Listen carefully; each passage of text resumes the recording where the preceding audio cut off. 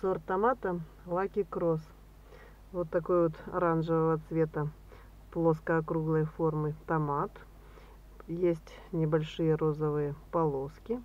По мере созревания здесь появляется малиновое розовое пятно и расползается по всему томату. Томат становится почти розовый. Это среднеспелый сорт. От сходов до первого созревания плодов составляет до 115 дней. Кусты лучше формировать в 2-3 стебля. Высоту растения достигает до метра пятидесяти. Плоды бывают весом от 250 грамм и до 600 грамм. В первых кистях плоды обычно крупнее. Чем ближе к верхушке, плоды немного мельчают, но все равно остаются крупными довольно. Вот так выглядит томат в разрезе. Ярко-оранжевый цвет и розовая серединка очень мясистый, семян не очень много, по вкусу сладкий, сложный вкус такой с фруктовым привкусом.